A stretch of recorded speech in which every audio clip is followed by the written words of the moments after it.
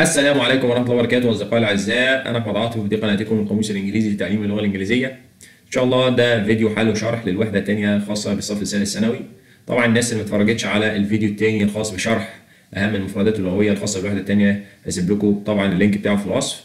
أتمنى الناس تتفرج عليه وتراجع أهم الكلمات الخاصة بالوحدة ودايما أكد المربع الأولاني في الوحدة الثانية اللي موجود في أي كتاب خارجي.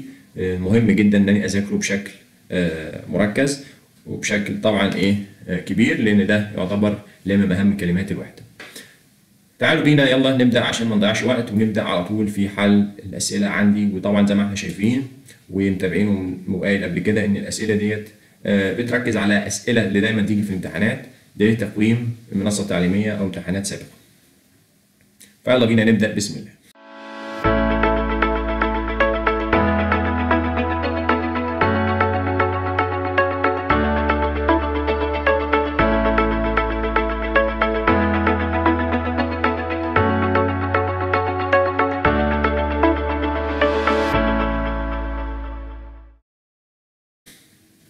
أول سؤال عندي بيقول after heavy rains there is always a of mud on the road to our town.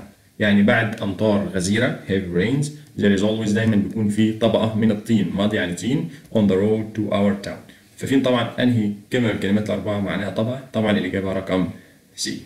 Layer. Layer of mud. طبقة من الطين. السؤال الثاني بيقول a good teacher should not his or her students in a fatherly way. أنا عايز أقول المدرس الجيد هو اللي بيضبط الطلاب بتوعه أو بيهذبهم بطريقة أبوية. طبعا يعني يهذب طبعا discipline number B.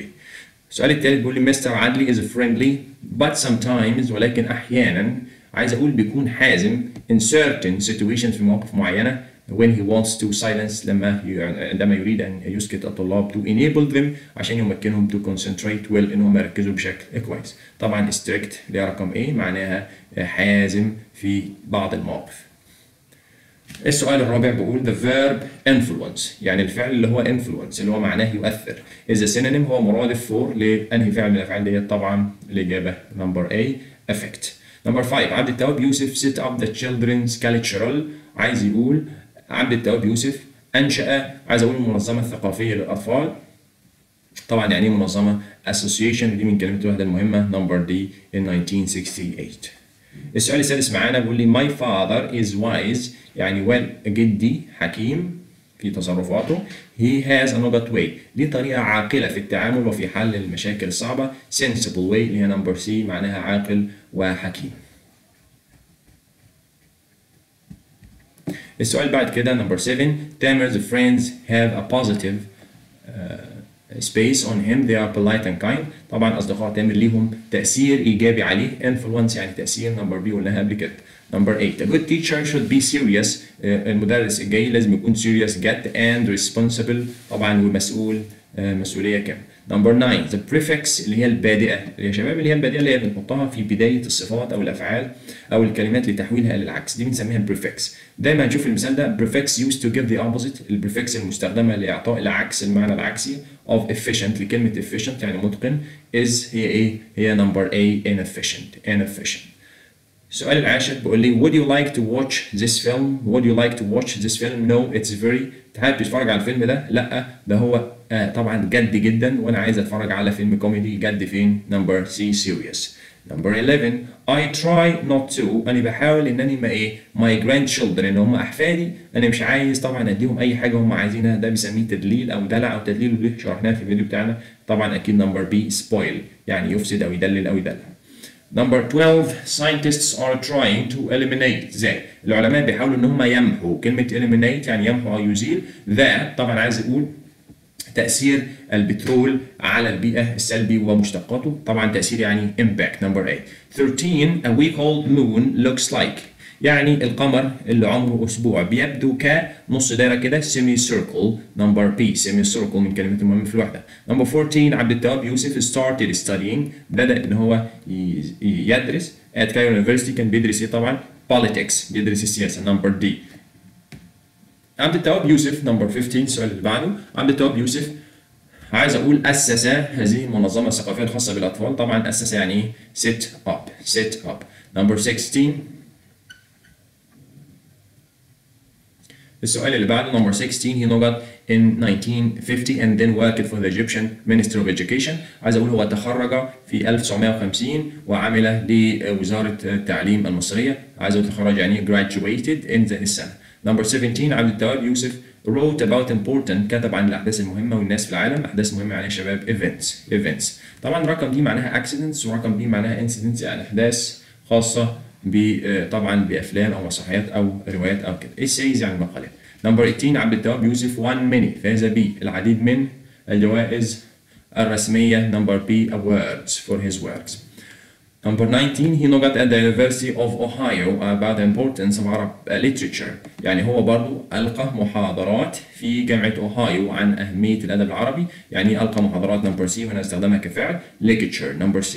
Number 20 people have translated Yusuf's books into many languages. يعني الناس بدأت تترجم كتب عبد التواب يوسف إلى لغات أخرى وزي ما إحنا ملاحظين translated into أكدت عليها قبل كده يترجم إلى إلى لغات عديدة متضمنة من الإنجليزية والفرنسية والصينية وهكذا يعني متضمنة طبعا including number A. 21 a teacher is like that. طبعا المدرس هو زي uh, of the earth whatever ايا كان المستوى اللي بتوصل له دايما بتلاقي إيه طبعا لو كان dig تحفر أعمق to find richer ones بتلاقي عنده معلومات أزيد وأزيد. طبعا هو عامل زي طبقات الأرض. كل ما بتنزل تحت كل ما بتلاقي ثروات وغنية بطبعا أشياء كويسة جدا. فطبقات الأرض يعني number A number A layers يعني طبقات. سؤال number 22 عند التواب. يوسف died in 2015 في 2015 آه عن عمر يناهز 87 سنة ودي قلناها قبل كده في الشرح number A age number A. Number السؤال اللي بعده 23 our teacher deals with us المدرس بيتعامل معانا in عايز أقول بطريقة أبوية fatherly way. طريقه أبوية يعني إيه fatherly way we all respect him كلنا بنحترمه. السؤال بعد شباب رقم 24 don't give your children all that they want. لا تعطي أطفالك كل اللي بيحتاجوه so as not to حتى لا تدللهم وتفسدهم بسبب التدليع الذي آه يعني آه لا فائدة منه. number C هي الإجابة الصح spoil them. 25 a good teacher should.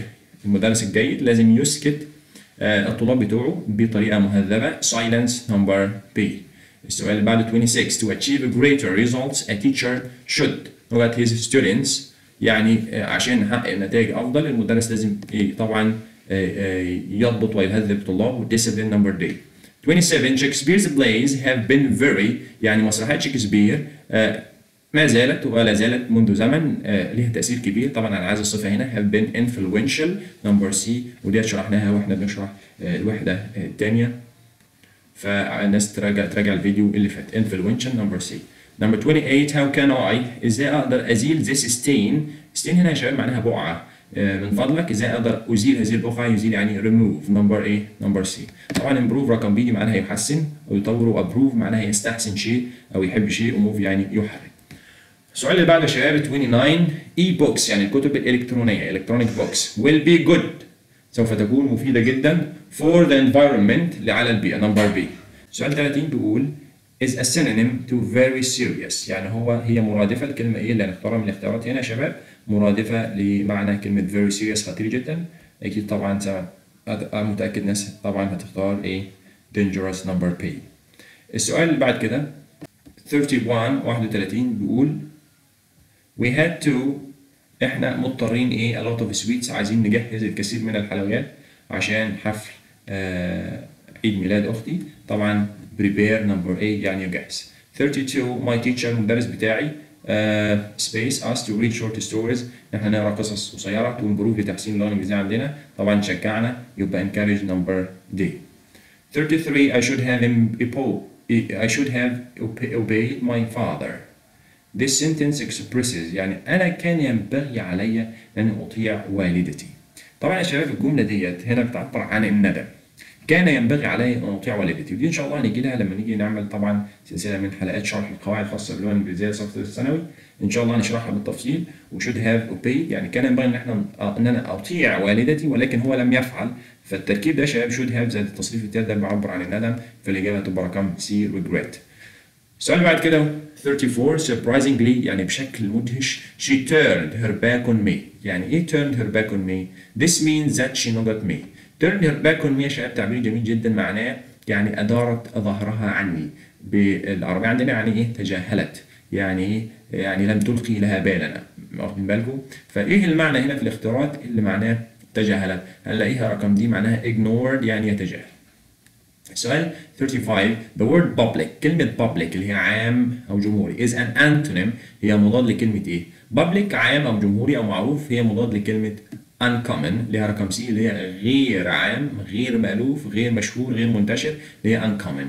حلو اللي هي number C السؤال اللي بعده 36 is not easy ليس من السهل انني اكون أصدقاء طبعا من غير ما اكمل المثال make friends يعني اكون أصدقاء. السؤال يا شباب بعد كده اللي هو 37 the word connection كلمة connection اتصال هي مرادفة synonym يعني مرادف for لكلمة a linkage يعني رابط أو اتصال.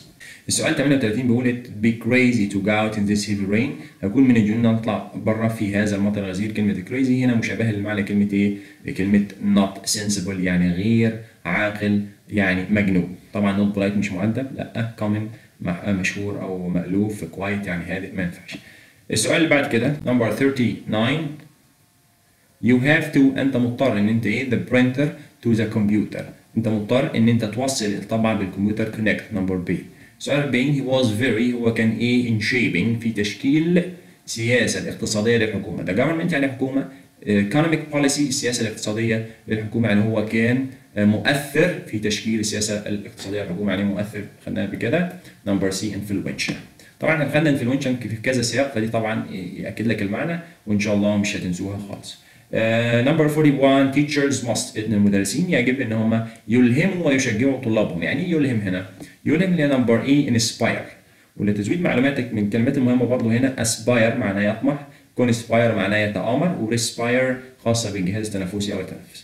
Number 42 drugs have become طبعا ال drugs have become أصبحت إيه in a lot of universities في الكثير من الجامعات. drugs المخدرات أصبحت مشكلة خطيرة، يعني إيه خطيرة؟ serious اللي هي بتساوي كلمة dangerous هنلاقيها في سؤال سابق. طيب سؤال 43 the word كلمة إيه describes behavior that is typical of a kind or concerned father. كلمة إيه يا شباب من الكلمات الأربعة دول بتعبر أو بتوصف التصرف اللي هو خاص بالأب المهتم مثلا أو الطيب فأكيد number إيه C fatherly يعني أبوي اللي هو طيب ودود وهكذا. آه نختم بس 44 the drug should only be administered يعني الأدوية أو المجال الخاص بالأدوية. هنا ال drug خدناها فوق معناها مخدرات ولها معنى تاني معناها يا شباب الأدوية. يجب أن يتم إدارتها فقط under تحت إيه medical supervision الاشراف الطبي. طبعا تحت إشراف طبي حازم يعني كلمة حازم strict number B إلى هنا ينتهي الفيديو بتاعنا الخاص بحل وشرح أسئلة الوحدة الثانية الخاصة بدليل التقويم للصف الثالث الثانوي. أتمنى الناس تطبق عملي ودايما تكرر الأسئلة وتعيد الفيديو مرة واثنين وثلاثة وتسجل النقاط المهمة ديت وإلى لقاء آخر بإذن الله. See you next time.